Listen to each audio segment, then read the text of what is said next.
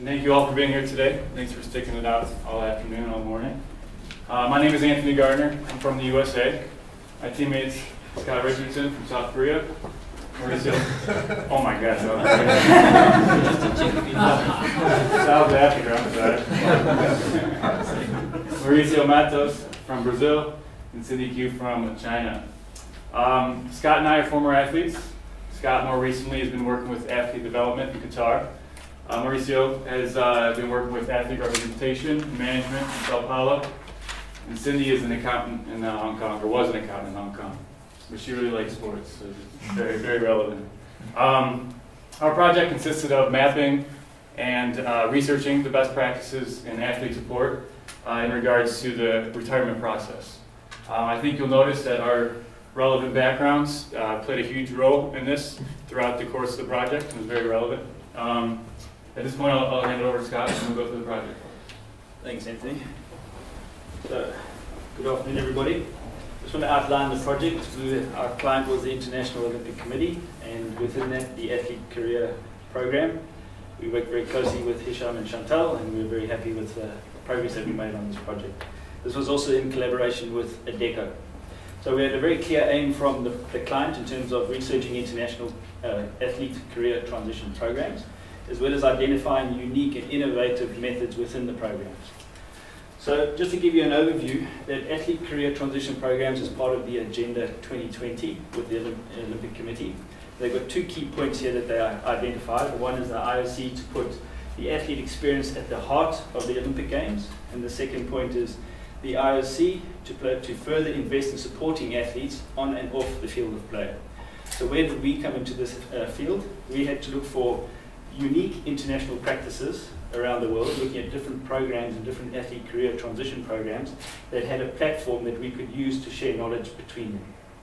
So we identified two objectives with our clients. The first one was to identify three unique attributes, and within these unique attributes, they had to be adaptable, so we could use them everywhere.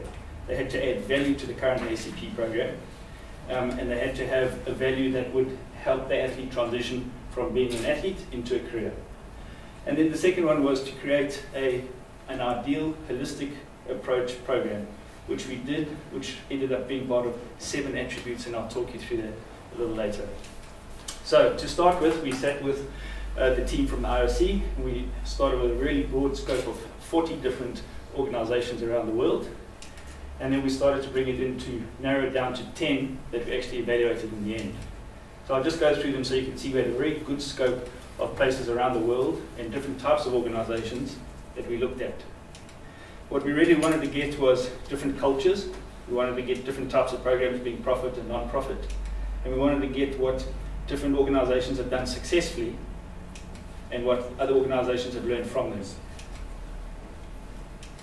So given that pretty broad spectrum of organizations, our methodology was both quantitative and qualitative. So we sat with the IOC team, we prepared a questionnaire which had six separate categories. We had a letter from them asking for approval that they could actually go ahead and uh, finish this questionnaire and why they were doing this. Um, and then we also did some of our independent research in cases where we didn't get any feedback from the clients. Or not the clients, but the organizations. From that, we pre prepared an individualized report on each of these programs that we assessed. Uh, we used a ranking system in order to understand what worked and what didn't work within the different places. We followed the BIS system here, which is basic indicators for best practice in international sport, or basic indicators for uh, best practice in international sport.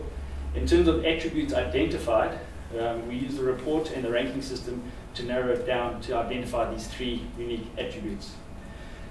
With that, we also found a lot of other key attributes along the way. So we actually expanded it to seven. But I'll start with the three unique that we identified for the IOC and, what, and why we identified them. The first unique attribute was program structure. With this, we mean we had identified programs around the world, and one in particular that had a very unique partnership and sponsorship model. What did they do here? They used the partnership sponsorship models to help promote, market, and fund the program using a tiered sponsorship model of having for example, a bronze sponsor, a silver sponsor, a gold sponsor, a platinum sponsor.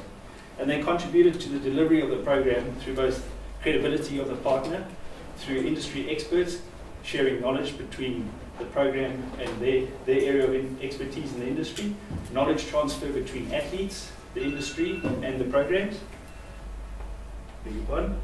And in terms of finance and strategy on financing the program through different tiered sponsorship models, and also in value in kind, and also in helping athletes in terms of giving them internships. So, the second attribute we found was program promotion. What this was is an interactive athlete platform which was used to help with the communication process of athletes. It's very convenient because it could be used anywhere around the world. It was available to both coaches, stakeholders, entourage, and sponsors. Um, in terms of it being centralized, what happens is the athletes enrolled in this once he's part of the national federation.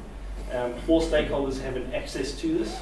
There's a security setting along the way so that you can prevent certain athletes' uh, information being shared with other people. Um, and this was very useful in terms of having one centralized database to control and help support the athlete through their transition process. The third unique attribute was a mentorship program, and this was through a multiple phased approach. So an athlete being introduced into a mentorship program where he was provided with a mentor who helped look after him, helped introduce him to the different aspects of being a professional athlete. The athlete then transitioned and learned about being a mentor himself and finally became a mentor for somebody else. The aim of this mentorship program was to keep retention and knowledge of the sport and the athletes' uh, entourage, being the coaches, being the sports science, sports medicine team, to help keep all this information within the sport so that we could help grow the program going forward. So, these three unique attributes are great by themselves, but they don't do anything by themselves.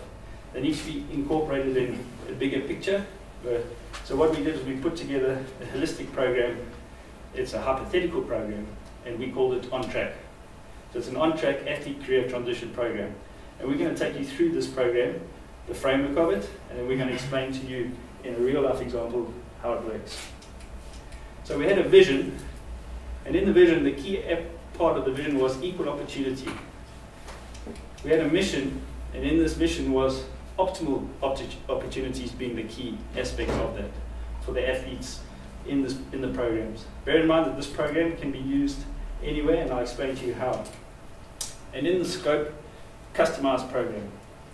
So what I'd like you to imagine is if this was an IKEA superstore and you walked in, our program would be the IKEA superstore. There are different categories within the IKEA superstore and there are different products within those categories. You don't buy all the product, products in all the categories when you go into the IKEA superstore. You look for what suits you based on your requirements, based on your resources, based on your budget, and based on what your objectives are. And that's exactly the analogy I draw to our program. We came up with three key values for our program. It has to be credible, personal, and flexible. But most important, it's got to have the human touch.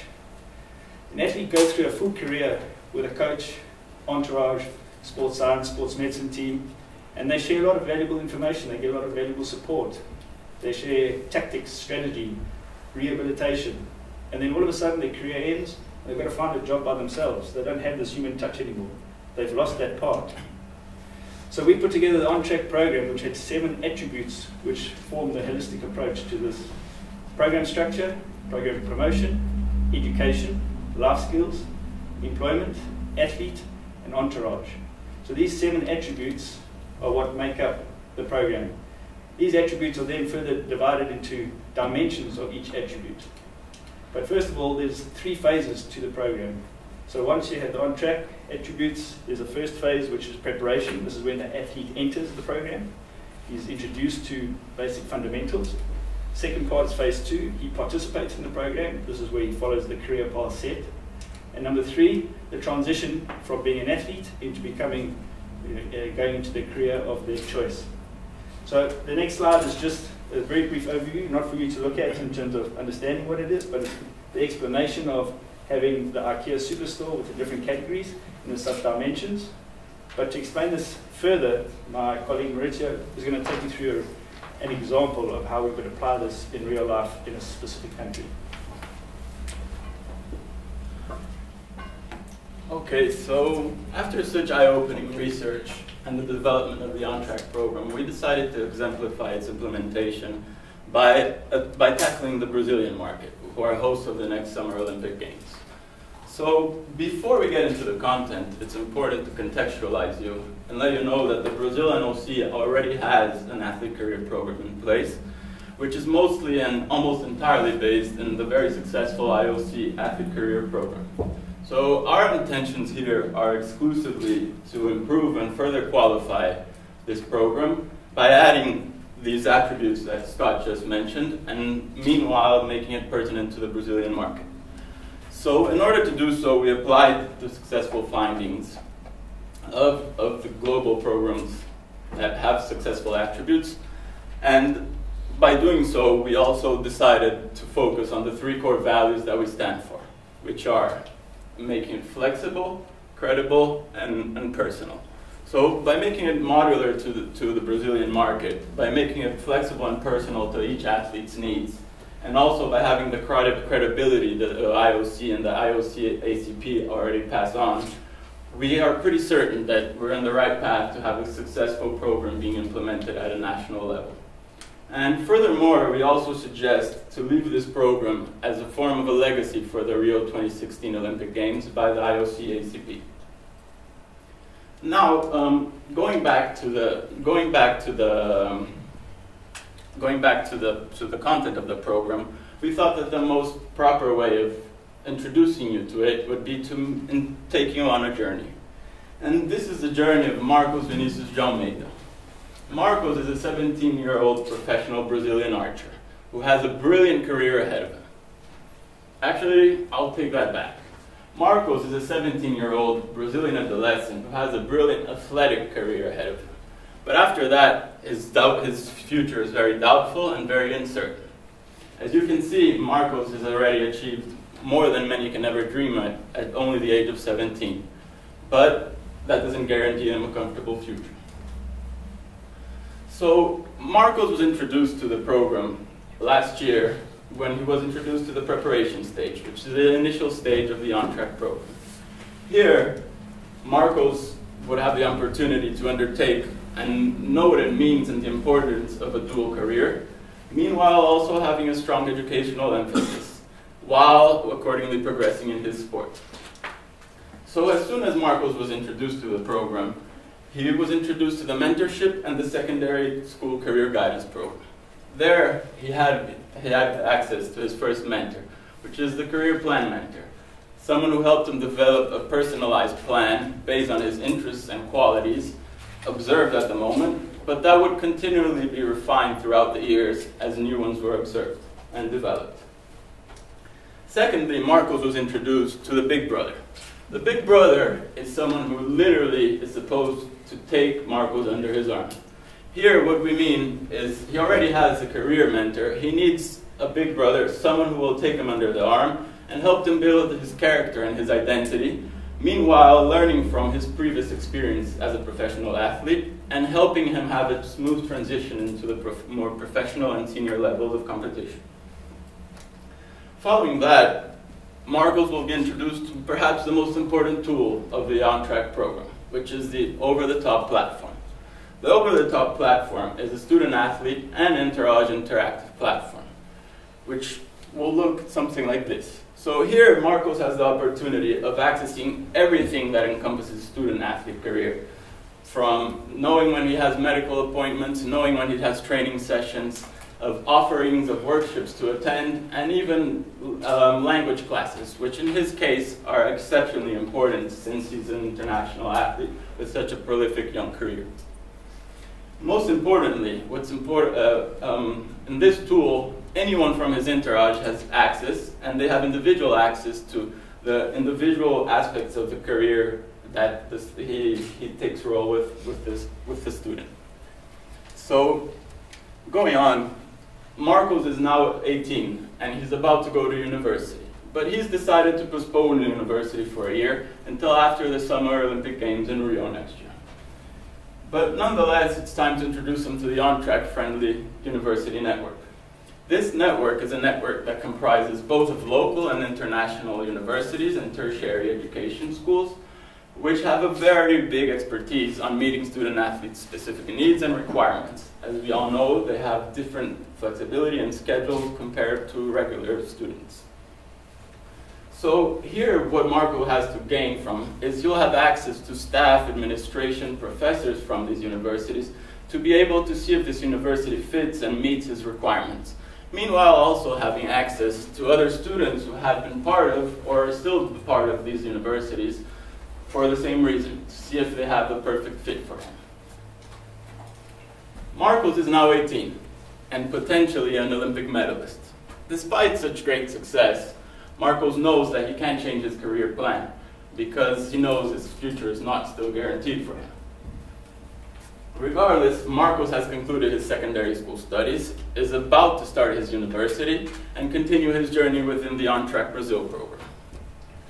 Recognizing that Marcos is at the peak years of his sporting career, it's important to diminish the workload that the On Track program has to offer, seeing that he has a very demanding training and schedule, and focusing exclusively and continuously on the development of his life skills. So here, Marcos will be introduced to his professional mentor and transition coach. Contrary to the previous phase, when he was introduced to a big brother, now he has someone who's more oriented to his academic interests and qualities. Someone who preferably works in the industry he desires to work on, work in one day.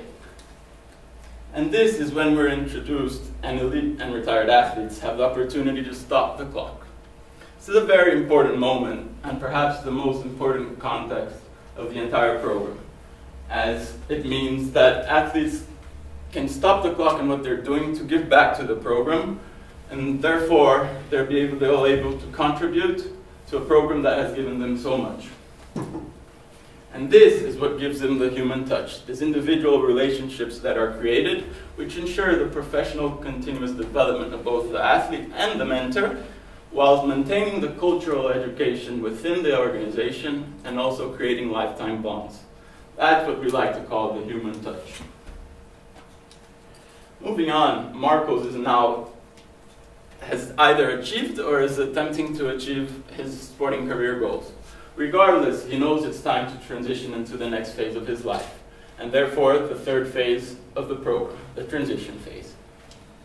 Here, Marcos will continue to participate actively in his sport, but he will also have close to equal commitment to preparing himself for uh, the industry he deserves to pursue a job in. So he will continue his work with his professional mentor and coach, which will take him through the confirmation stage. Confirmation stage is encompassed of three steps. The career selection before transition stage, where he will attend uh, workshops to spark his interest in different areas introduction to the transition industry expert, well, he will have a detailed post-career plan developed based on his, his, his desire and his uh, desired industry. And most importantly, he will be able and have the opportunity to participate on shadow programs, which will give him a real feel about what it is like to work in the industry he, desires to for a longer period of time.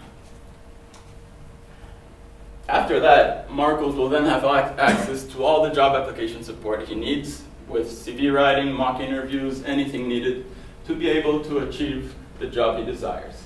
Meanwhile, also having access to what we call the on-track healthy lifestyle, which ensures that they have a smooth transition for the mind and the body.